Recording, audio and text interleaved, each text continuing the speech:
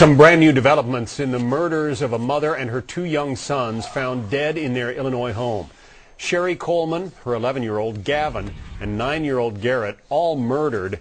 Police are investigating now the relationship that Sheri's husband and the boy's father, Chris Coleman, may have had with a woman in Florida. Detectives traveling to Key Largo to interview her. Joining us now, Nicholas Pistor, a reporter with the St. Louis Post-Dispatch, who has broken an awful lot of interesting details on this story. Nicholas, uh, we don't have to name names here, but who is this woman? What is the relationship to the case?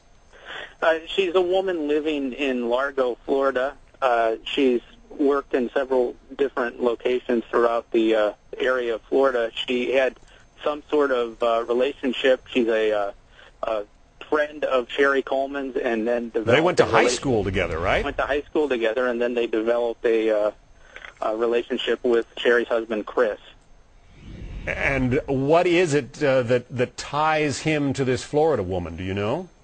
Well, again, uh, you know, we're reporting that she was his girlfriend. That that's what the police uh, sources are telling us, and that police went down there almost immediately after the uh, the bodies were discovered to interview this woman and to figure out more about the relationship. Right, and just so our viewers don't get confused, we had some um, uh, images on screen there. Those are uh, pictures of Sheri Coleman, uh, the deceased in this case.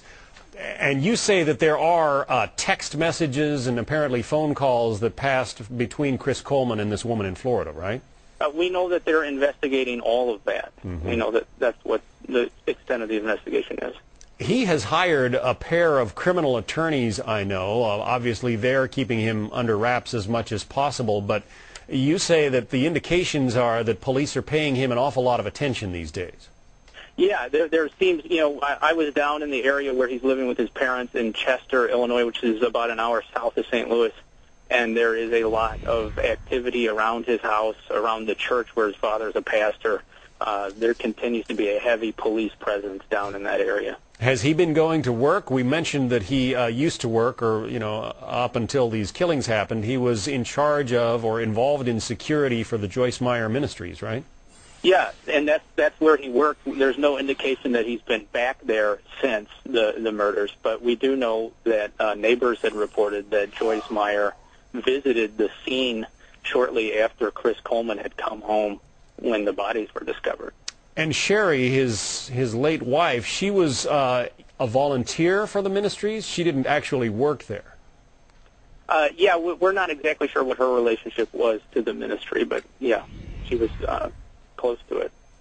Uh, neighbors told you that that uh, police said these three had been strangled. Generally, anytime uh, you know, in my years of covering crimes, police would always say, whenever there is a strangulation murder, that is very personal. It's not somebody who, um, it's usually somebody who knew the victims personally uh, and, and, you know, doesn't resort to a, using a gun or something like that where you kill from a distance. It becomes very personal. Have they talked about that with you? No, they haven't. They have talked very little about the cause of death or, you know, what they believe was behind how the bodies were killed.